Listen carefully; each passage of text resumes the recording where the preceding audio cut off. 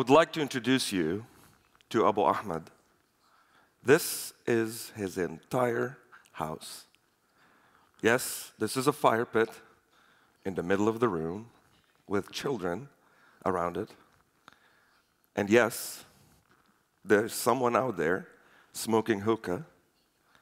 And in case you're really wondering, yes, this is a goat, and the goat is watching the news. Abu Ahmad was our neighbor. I grew up in a very poor neighborhood, and our neighbors were Palestinian refugees, Lebanese refugees, and Bedouins. We were very poor, and we struggled every day to afford food. This was my school. And I still remember the day when the United Nations donated two computers to our school.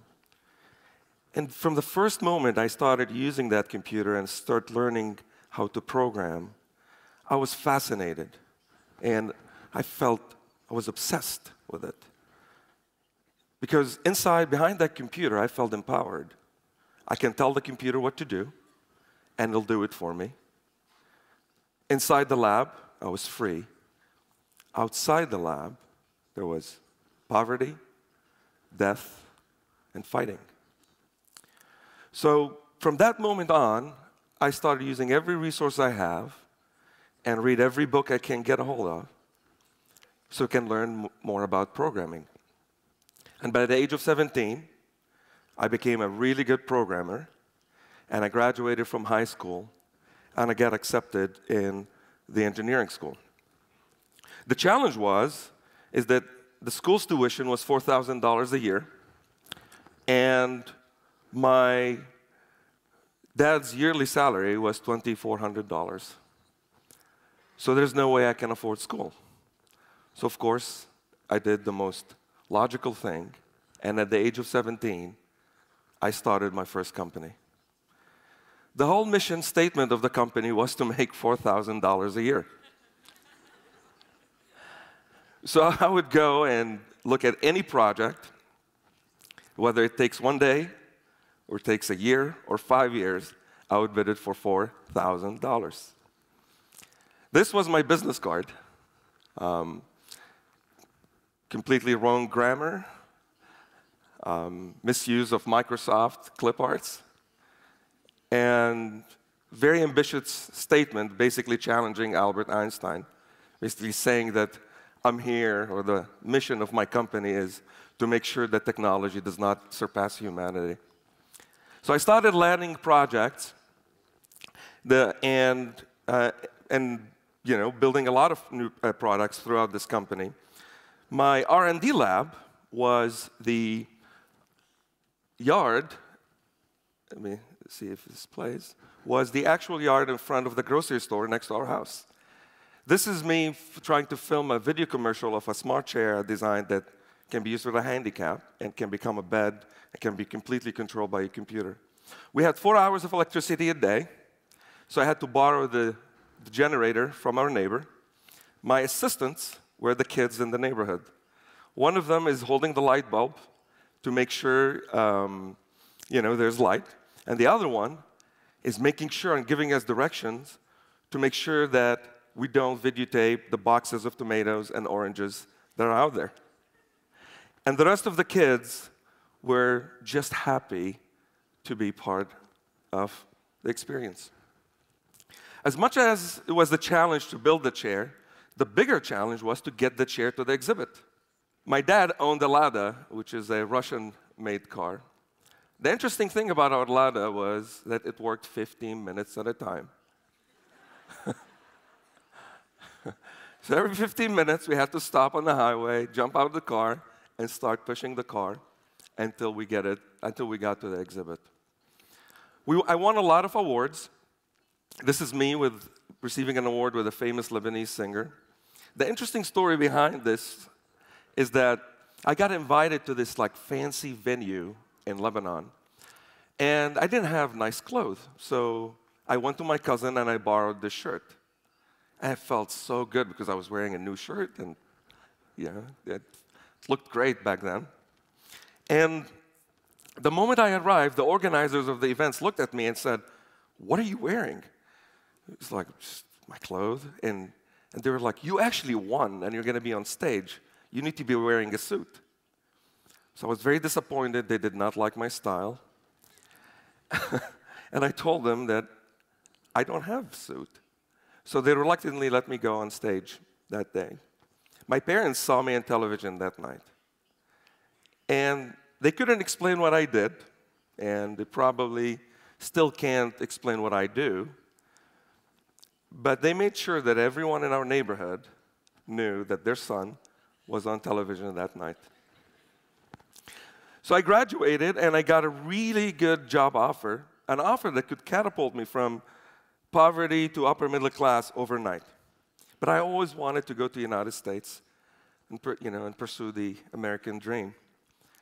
So I rejected the job offer and I applied for a school in the United States, University of Detroit Mercy. I got accepted, but the challenge was I had the wrong passport. In 2006, a 23 years old Middle Eastern man with mad computer skills.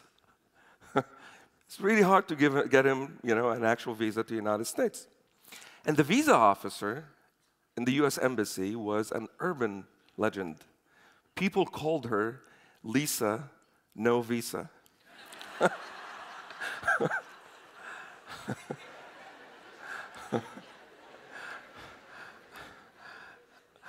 so as, as I was waiting in the line, um, you know, for my interview, and start seeing disappointed faces coming my way, so I knew that Lisa was on the other end of the line. And then it was my turn. So, and then Lisa started asking me questions about the school, about the US.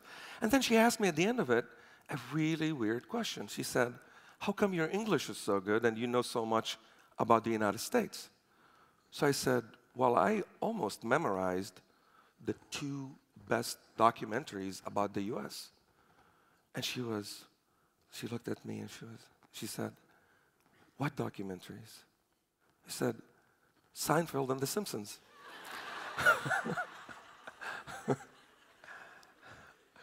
so Lisa, the serious person, started laughing. And she looked at me and she said, You'll do just fine. And in a matter of three days, my, you know, they did the background check, my name cleared, and I got the visa. That was the happiest day in my life. A few days after that, this happened. The 2006 war started, and we lived right next to a power plant, next to bridges, very close to the sea. So there was the F-15s and F-16s were bombing all the bridges and our power plants right now next to us. The battleships in the sea were bombing every car that is driving on the road next to our house. We lived on the ground floor, so supposedly that was the safest place in our neighborhood. And so everyone in our neighborhood, all the people came to our house. Women and children stayed inside the house. Men slept outside on the floor. And I can still remember the feeling that everyone had that day. There was fear, of course. But what was more than fear, fear was that feeling of helplessness. And I can still remember the look in the eyes of my uncle where he's hugging his five years old son. And his son is crying. And I can still remember the stare in my uncle's eyes. And that stare of helplessness and the feeling that there's nothing he can do other than giving his son a hug. Because at any moment, a missile can hit our house and kill everyone that is there. And then my dad comes to me, and he was holding his credit card in his hands. And he looked at me and said, Son, over the years, I have saved $2,200. I want you to leave $300 in the bank account and leave to the United States. You're the only one who has the option to leave. You're the only one who could survive in our family. So I told him, what, I mean, I cannot just leave you guys and pursue my dreams and leave you here for death. And he told me, So what are you going to do? Just stay here and die with us. So, out of practicality of death, I decided to leave. But the problem was how to get to the border and leave the country. Now, the good thing about living where I lived is that our neighbor was an oil smuggler. he used to smuggle oil between Lebanon and Syria. So he told me, give him $50, he'll get you to the borders. Saying goodbye to my family was the hardest thing I've done in my life. When I said goodbye to my dad, and as I was hugging him, he fell in my arms and he could not stand. And for some reason, we both thought this was the last time we're going to see each other. And my mom, and my mom, I, couldn't, I didn't see her that day. And I later found out that she fainted. And no one would tell me because they were afraid that I would change my mind. And then I started my journey to find a ticket that I can afford with the limited money I have. I can do a completely new te- another TED talk on how I got from Lebanon to Syria to Turkey and then Germany and then found a ticket and I got to New York. And then when I landed in the US, I went from this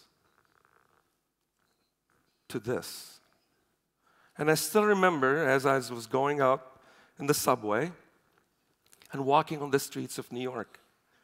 I had a, all I had was a pair of jeans, a knockoff polo shirt, slippers, and my dad's brown Samsonite, and a couple hundred dollars in my pocket. With the limited money I had, I chose to pay $15 and go see the Statue of Liberty. This is me, first day in the United States. I had way more hair and way less weight. That night, in the afternoon, I took the bus and I went to Detroit to start my school. As I got into Detroit, Detroit, reality kicked in. I had probably around $80 at that point, and my school's tuition was $30,000 a year. So I had a cousin in Detroit. Me and him rented an attic in one of the houses, and he got me a job interview um, at the gas station. That was the toughest job interview I had in my life. So imagine going there like the second day or third day in the United States, instead, you know, and seeing everything that is very different. There's ga- gallons instead of liters, miles instead of kilometers, and they have all these items that I've never seen before in my life. So I used my memory to my advantage and I memorized every single thing that they had in the gas station. All the items, the locations. I printed all the codes that are in the computer and as if I was studying for my PhD. And I memorized everything. And in a couple of days, I got the job. The job was to work from 7 p.m. to 7 a.m. at night, be a cashier, but mainly mop the floors, clean the toilets, and change the trash bags outside. So I was happy because I was making some money. I was, in a few weeks, I was able to buy a computer. But the problem is, still, I cannot pay $30,000 a year for this my school. So I was, as I was walking one time in the school, I saw a request for proposals from the US military. So I read the proposal and I went to the chairman of engineering and I told him, What if I help you in writing this proposal? Would you pay my tuition if you get the grant? And he looked at me and said, like, sure, why not? So I go back to the gas station and I start writing, work on the proposal. And then I realized how ironic the situation is. You've got this really good computer engineer working at night at a gas station. At the same time, this guy is a Middle Eastern man who's working illegally in the United States writing a proposal for the US military. We got the proposal, we got the grant, and that paid my tuition. So at that point, I had, you know, I was full-time research assistant, full-time graduate student, and full-time gas station employee. That meant I only had five hours of day, a day to sleep, thanks to the complete abuse of five-hour energy drinks and Advil PM, I was able to make it. And then I graduated, and then I moved to Dallas. With $50, me and my business partner started our first company. Company was called Dialexa.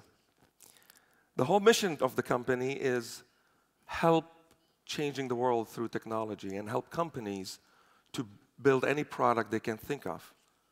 So were, we were so naive that we thought we can do this with 50 bucks.